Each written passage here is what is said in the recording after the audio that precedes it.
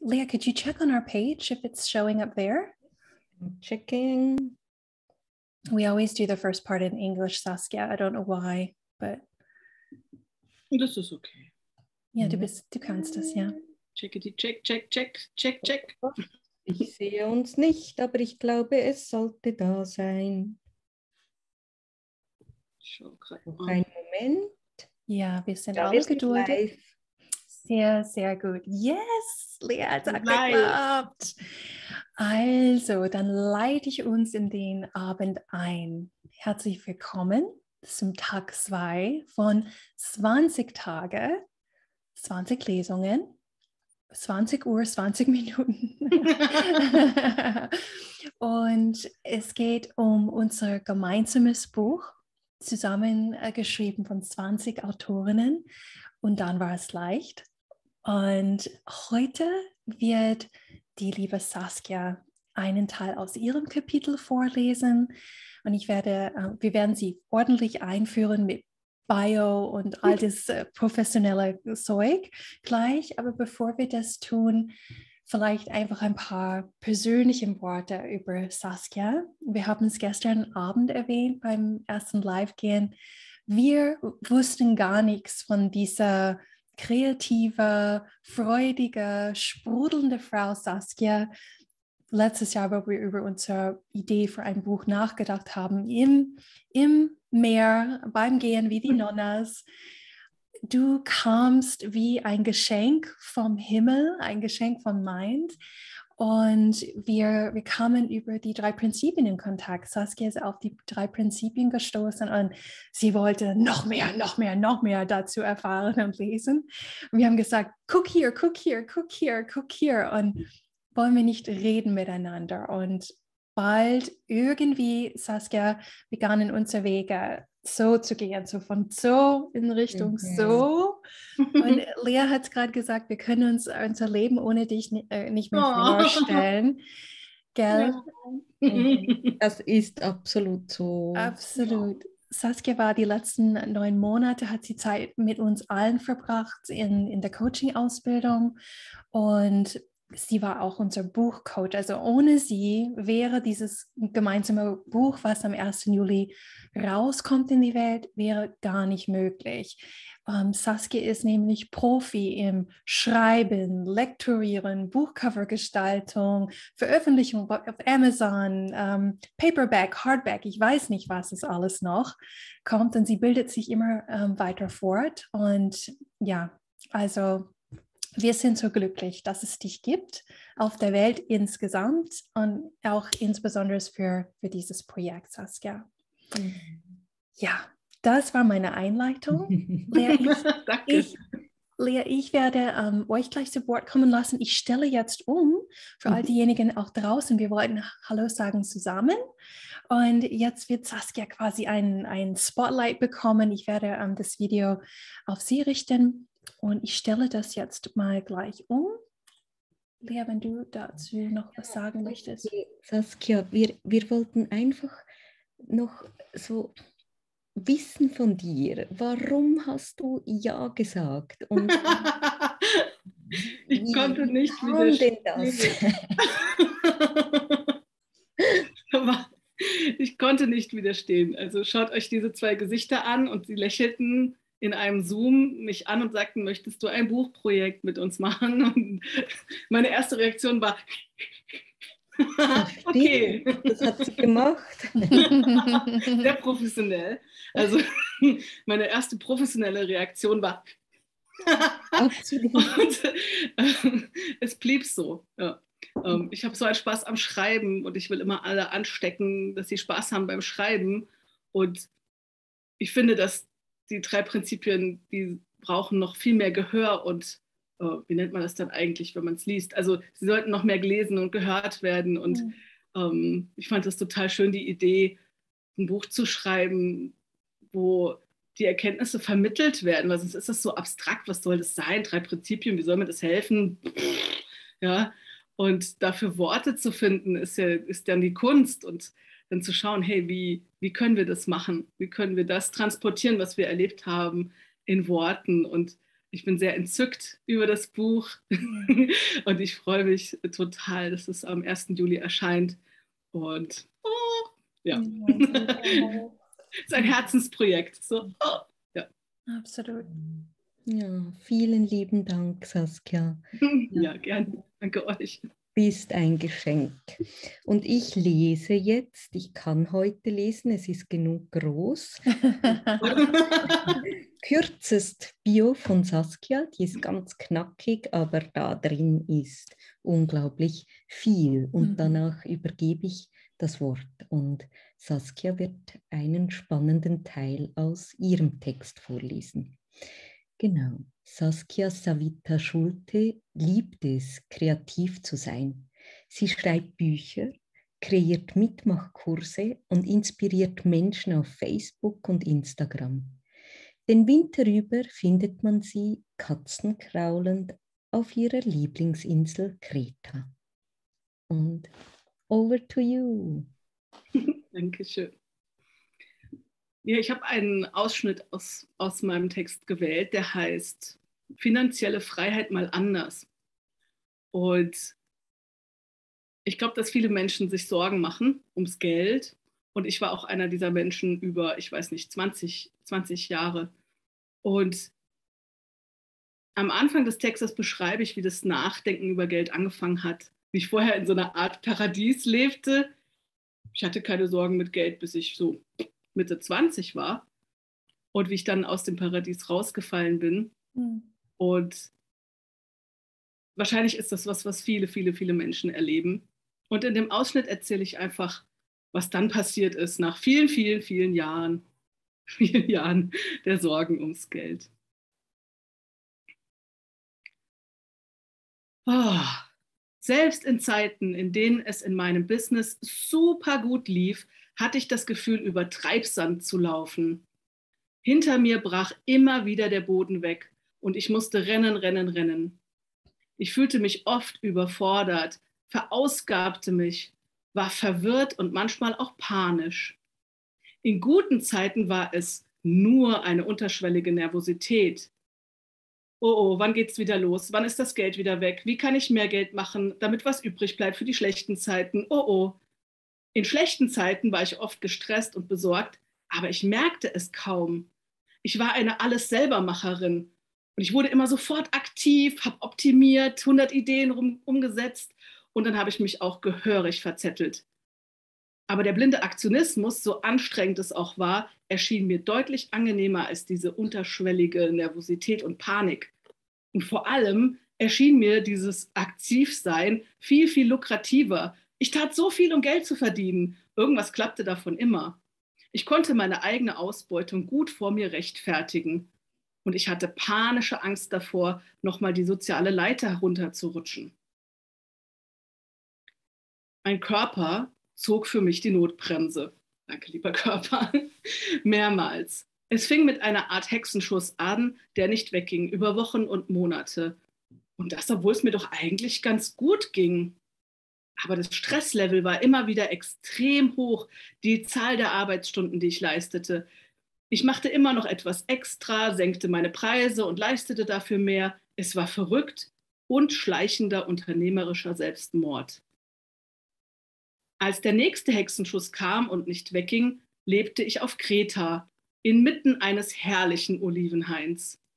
Ende Januar gab es zwar noch heftige Regengüsse, aber auch saftige Wiesen voller Klee und kleiner gelber Blümchen. Die buschigen, runden Olivenbäume bauschten sich im Wind auf, und sobald der Regen aufhörte, zwitscherten die Vögel ein munteres Lied. Perfekte Verhältnisse für meine Vorhaben. Ich wollte mehrere Monate bleiben, arbeiten, genießen, vielleicht noch ein Buch schreiben. Ich kam mit leichten Rückenschmerzen an, nachdem ich die zwei schweren Koffer herumgehieft und gezogen hatte. Und zwei Wochen später versuchte ich morgens aufzustehen und konnte mich kaum noch bewegen. Ich arbeitete natürlich weiter, nahm Schmerztabletten, turnte zu YouTube-Videos und es tat sich fast nichts. Nach einer Woche kapitulierte ich und nahm mir endlich eine Woche frei. Ging zur Physiotherapie, ließ mich massieren, gönnte mir Auszeiten, machte einen Trip in die wunderschöne Küstenstadt Hanya zum ältesten Olivenbaum der Welt und in ein legendäres Café mit Ausblick übers Meer. Ich machte Mittagsschläfchen und erlaubte mir, einfach mal abzuhängen. Mein Rücken besserte sich. Aber jetzt, wo ich nichts mehr tat, um mein Business voranzubringen und Geld zu machen, um meine verdammten Rechnungen bezahlen zu können, wurde aus der ständigen, unterschwelligen Nervosität blanke Angst. Ich erlebte eine Panikattacke. Da ich zu diesem Zeitpunkt ohnehin gerade zu Hause war und wegen des Rückens überhaupt nicht sitzen konnte, legte ich mich einfach ins Bett und redete mir gut zu. Hey Saskia, das ist bloß Panik. Davon wirst du nicht sterben. Es tobte und schrie in mir und nach 20 Minuten war der Spuk vorbei. Hm. Davor war ich die ganze Zeit weggerannt, war voll blindem Aktionismus vorwärts gestürmt, ohne auch nur kurz innezuhalten, ohne hinzuspüren, wie es mir wirklich ging, hatte ständig Erholung von der Arbeit gesucht, statt mal einfach damit aufzuhören. Ja, davor war ich weggelaufen, vor diesem Gefühl der Angst. Mhm. Aber ich lernte etwas, dass diese Panik ein Phänomen ist. Sie ist etwas, das vorbeigeht. Manche nennen es Gedankenenergie. Wenn ich sie nicht anrühre, zieht die Panik durch mich hindurch und dann ist sie weg. Wie ein Wirbelsturm, der die Luft klärt. Nachdem ich das verstanden hatte, war ich bereit. Bereit für das nächste Mal. Bereit, nochmal Angst zu haben. Nochmal im Bett zu liegen, die Beine rückenfreundlich gelagert und eine Angstattacke durch meinen Körper rauschen zu lassen. Warum denn auch nicht? Es passierte ja nicht wirklich etwas Schlimmes. Es erschien ja nur so. Glücklicherweise war mir das in diesem Moment völlig klar. Es war keine reale Bedrohung da, keine giftige Spinne, kein Raubtier, kein Erdbeben, keine Überflutung, nichts. Ein ruhiger Nachmittag, draußen zwitscherten die Vögel und die zum Haus gehörenden Katzen hüpften durch den grünen Klee. Was ist hier die Realität? Die zwitschernden Vögel und die hüpfenden Katzen oder das, was mir die Panik einflüsterte, was ich körperlich und emotional in diesem Moment erlebte. Ist es nicht verrückt, dass wir etwas so völlig anders erleben können als die reale Situation? Wir erleben, was wir erleben, aber wir erleben nicht das, was jetzt in diesem Moment da ist. Sonst wäre ich vermutlich, statt der Panikattacke mit Panikattacke im Bett zu liegen, einfach mit den Katzen durch den grünen Klee gehüpft und hätte mit den Vögeln gesungen. Wie es weitergeht und wie es davor war, erfahrt ihr ab 1. Juli in unserem Buch. Hm. So schön, Saskia. So, jetzt komme ich, warte mal, zu euch zurück. Hm. Hm. Hallo. Hallo Facebook. Hallo Amazon. Instagram. Hallo Menschen. Wir machen auf allen Kanälen heute. Hallo Instagram. Ich bin so berührt, Saskia. Hm. Hm. Hm. Ist das nicht hoffnungsvoll? Ich weiß, ich wiederhole mich seit Jahren, aber es ist so verdammt hoffnungsvoll. Total. Ja. Hm. Super, super, super. Hoffnungsvoll. Ja. Mhm. Es war keine harte Arbeit, mit dem harten Arbeiten aufzuhören. mhm. hm. Ja. Hm, ja, und weiter geht's dann mit der Geschichte. Bei dir gibt es ein Davor und ein Danach. Ja. ja. Teil zu lesen. Oder? Und noch mehr Erkenntnis. Wer weiß. Mhm. Unglaublich spannend. Da, da hören und sehen und erkennen sicher ganz viele was. Mhm. Ich fürchte ja. genau. Mhm. Willst du zum Abschluss einfach noch mhm. etwas über, über diese wahnsinnig berührenden Geschichten erzählen, die da vor uns liegen, weil es kommen bis zum 1. Juli alle Autorinnen zum Wort. Und mhm. Saskia hat die am nächsten, am intensivsten begleitet und, und diese Texte mhm. geschrieben. Mhm. Ja. Stimmt, ich bin die Einzige, die alle Texte kennt. das, das bist du, Saskia. hm, nein, ähm, also es, es ist tatsächlich so, ich hätte nicht gedacht vorher, dass es so viele verschiedene Themen gibt, wo diese Erkenntnisse so viel Veränderung gebracht haben. Ich hätte gedacht, ja, okay, da kommen vielleicht ein paar Themen dazu und dann wird sich einiges vielleicht wiederholen. Es ist, es ist absoluter Hammer. Es gibt, es gibt eine solche Vielfalt und in so vielen Themen erkenne ich mich wieder, dass ich dachte, das kann doch nicht sein.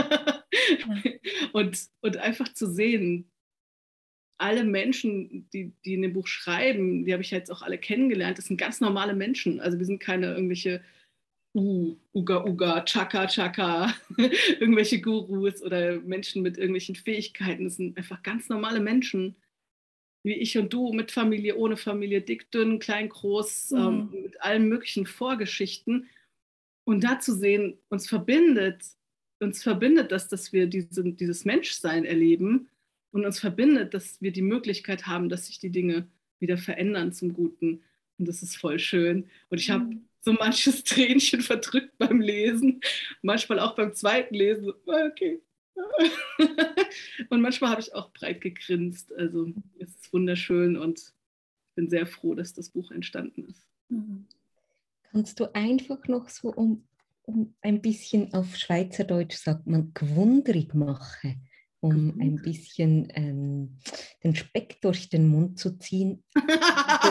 Vielfalt an Themen, weil das ah. interessiert oh. ja die Menschen. Einfach noch so ein paar ja. Oh, es, gibt, äh, es, es, gibt so coole Themen, zum Beispiel Selbstzweifel, mhm. zum Beispiel diese e-, ewige innere Kritik im Kopf, nie gut genug sein, immer ist was falsch mit einem. Dann solche Dinge wie Familienthemen, Trennung, Trennung von den Liebsten. Oh, ähm, oh Gott, Ängste. Dann im Business, diese ständigen, ständigen Überforderungen, Burnouts, alles.